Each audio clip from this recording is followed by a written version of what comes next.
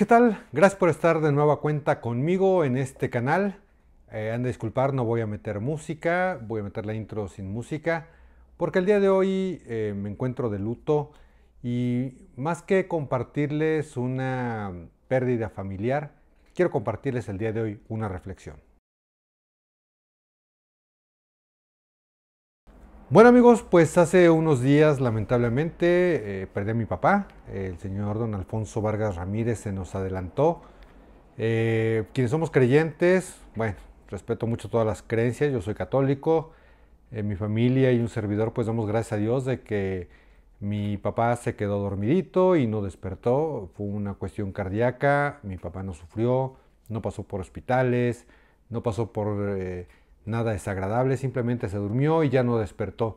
Pero como les comentaba al inicio, más que pues platicar una pérdida y un duelo familiar que tenemos, yo quisiera el día de hoy invitarlos a una reflexión. Y hago este video por dos cosas. Una, precisamente por esta reflexión, otra, pues una forma de un muy pequeño homenaje a mi papá que les quiero platicar y compartir más bien, que era de mis principales fans de este canal y de todos los medios donde trabajé fue mi principal radioescucha, junto con mi mamá, desde luego, mi principal televidente, ahora mi principal seguidor en YouTube, era de los primeros que le daba like a mis videos y siempre me alentó a esta difícil pero hermosa carrera de la comunicación. La reflexión que les quiero hacer es la siguiente. Muchas ocasiones nos preguntan, ¿quién es nuestro ídolo? ¿Quién es nuestro ejemplo a seguir? ¿Quién es la persona que nos brinda esa eh, ese empuje para nosotros hacer eh, nuestras cosas, que nos inspira para eh, hacer una carrera, etc.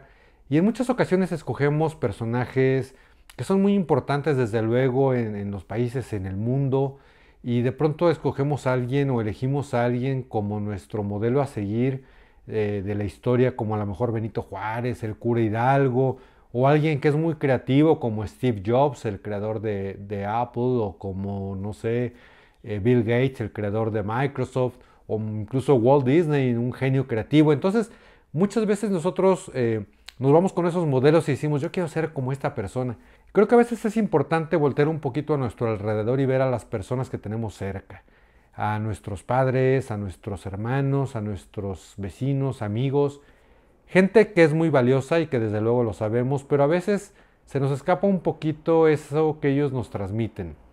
Eh, en el caso de un servidor, mi papá siempre fue mi ídolo a seguir, un hombre responsable, un hombre generoso, un hombre bondadoso, un hombre que ayudó a muchísima gente eh, en todo sentido, desde unas cuestiones laborales, encontrarles trabajo, cuestiones económicas, entregado a su familia. Y qué bonito es que cuando nos pregunten, quién es nuestro ídolo, nosotros podamos referir a una persona que sea cercana a nosotros.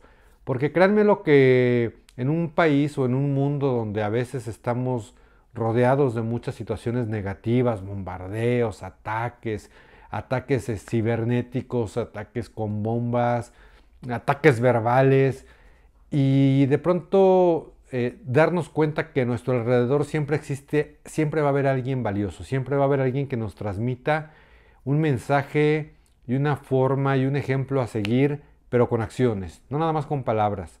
Eh, el hecho de ser un buen padre o ser un buen hermano o ser un buen hijo, un buen esposo, un buen vecino, un buen empleado, un buen jefe, lo que sea, eso nos va a dejar y nos va a enriquecer mucho, pero también nos va a enriquecer a nosotros mucho tomar el ejemplo de estas personas. Eh, yo creo que en este momento de reflexión de mi vida, les quiero compartir esta parte de la importancia que muchas veces implica el reconocer a las personas que tenemos a nuestro lado.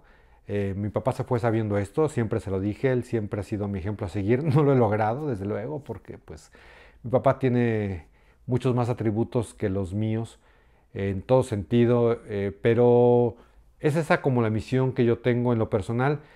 Y por eso les quiero compartir este video eh, no es de ninguna forma como lo es, y soy muy reiterativo, no es una cuestión de compartirles tanto una tragedia familiar, porque al final no lo fue, mi papá se fue en paz, se fue tranquilo, sino más bien es compartirles esta reflexión de saber que a, nuestros lado, a nuestro lado, eh, muy cercanos a nosotros, pues siempre existe alguien que nos va a brindar lo que en mi caso a mí y a mi familia nos brindó mi papá, don Alfonso Vargas Ramírez, a quien honro en este video, como les comentaba, de mis principales fans.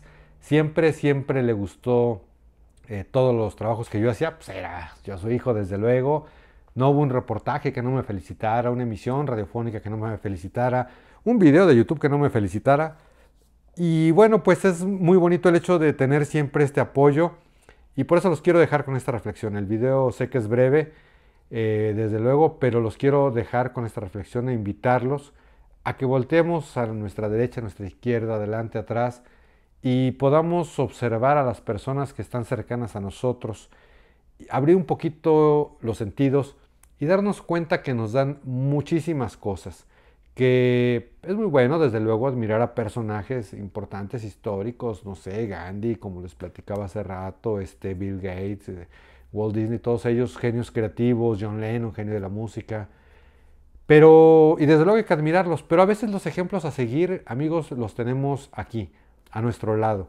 Y por eso los invito a esta reflexión para que, si ustedes tienen a alguien cercano eh, y es un ejemplo a seguir, díganselo, eh, no es bueno quedarse con nada, siempre es bueno decirles cuánto los admiramos, cuánto los queremos a las personas que así lo hacemos y a las que no, ¿por qué no también? Eh, estoy tranquilo, desde luego a mi papá siempre le dije todo lo que yo pensaba, él me dijo todo lo que él pensaba y por eso, papá, pues donde estés, que sé que nos estás viendo, eh, te mando desde luego todo mi cariño, todo mi amor. Voy a extrañar tus likes y tus comentarios de los videos. Así es que, pues con esta reflexión los dejo el día de hoy, queridos amigos.